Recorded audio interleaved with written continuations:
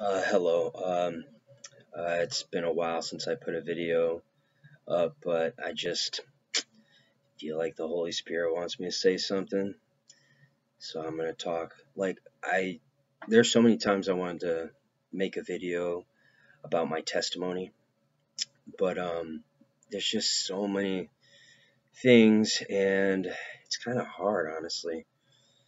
Um, but what I will talk about is uh, some I talk about a lot, but I think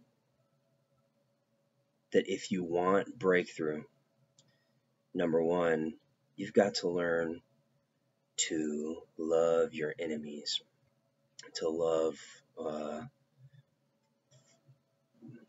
to love one another, and that comes from spending time with God. And He promises that if you abide, if you stay with Him, like Jesus said, you will bear fruit.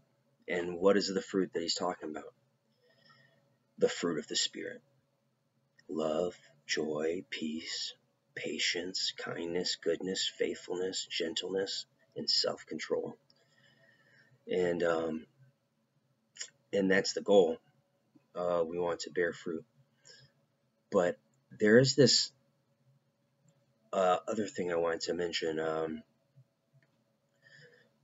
Jesus said, Beware of the leaven of the Pharisees. And the disciples thought he was talking about bread. He's like, You think I'm talking about bread? He said, No, um, the leaven of the Pharisees, leaven representing sin, is hypocrisy. So Jesus, uh, at one point in the gospel, he says, Every sin that men shall commit, it will be forgiven them, except the blasphemy of the Holy Spirit. But Jesus warned about hypocrisy, and he warned the Pharisees at one point, like as they were speaking, he's like, You got to be careful. You know, he's talking about blaspheming the Holy Spirit because they were accusing him of casting out demons uh, with the devil's help. And he's like, uh, be, you know, either be careful or they maybe they cross the line. But the point is, Jesus said that, um, and this is a part of just the beautiful assurance, man.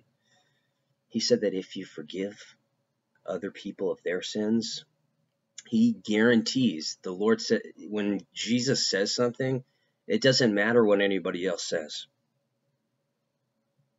He said, if you forgive others of their sin, you yourself will be forgiven.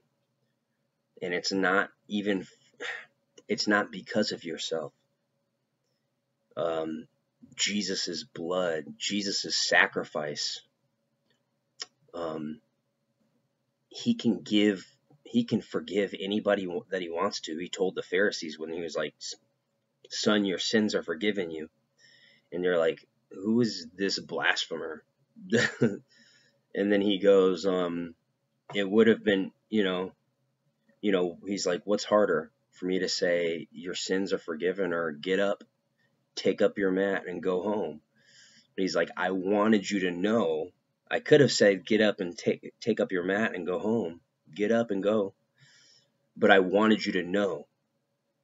Like, and he took the path of more resistance because he wanted them to know that Jesus has the power to forgive sins. And think about this. This is what it says in the Old Testament and in the New Testament. I will have mercy on whom I have mercy, and I will have compassion on whom I have compassion. There's this one time I asked the Lord, I said, Lord God, after talking to my brother, because my brother's an atheist and we, we used to debate a lot, but he's like, um, basically, and I understood what he was coming from. He basically thinks this way, right? It, to the crooked, God is going to seem crooked.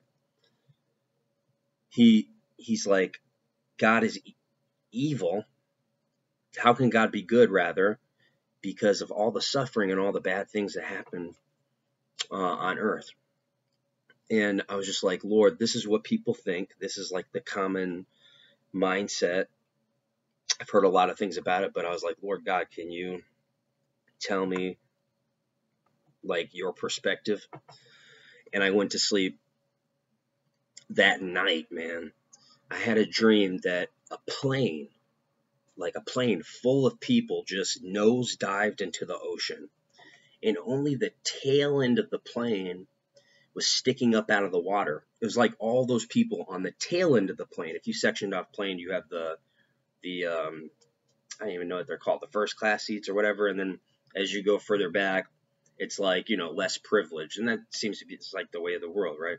First seat to the last seat, but the tail was sticking up out of the water, and it seemed like everybody that didn't sink into the water, they managed to survive. They got out of the plane but everybody down deep, I remember looking in there and I'm just like, I was like, I could save somebody, but if I go down there, like, I might not come back up.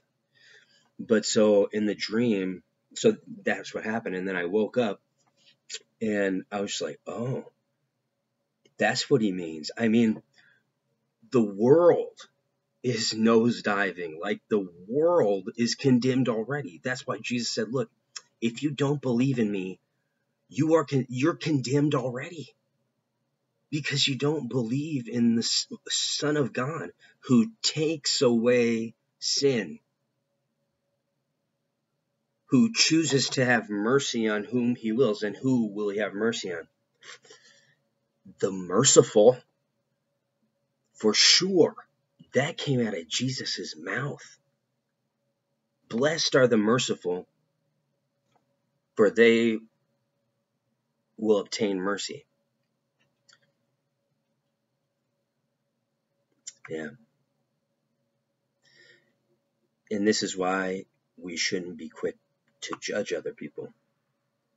Because in the same way that we judge, God is going to measure that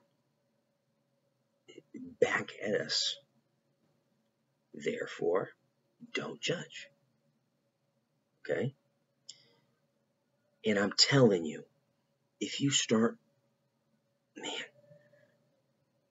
and I know that God has to reveal this stuff.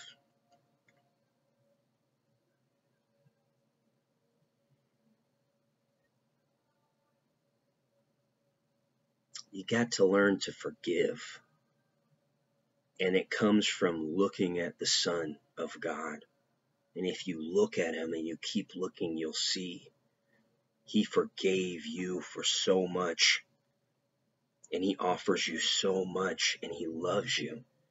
I don't even want to go there. That's a whole different thing. I mean, based on what He's told me, I know I can't be the only person that the Lord loves.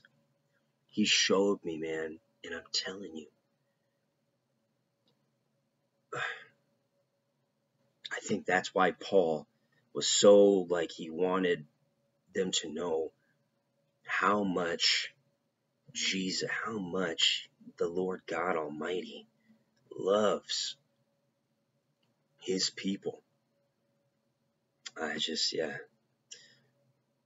I try to keep these videos like under 10 minutes for some reason. I don't even know.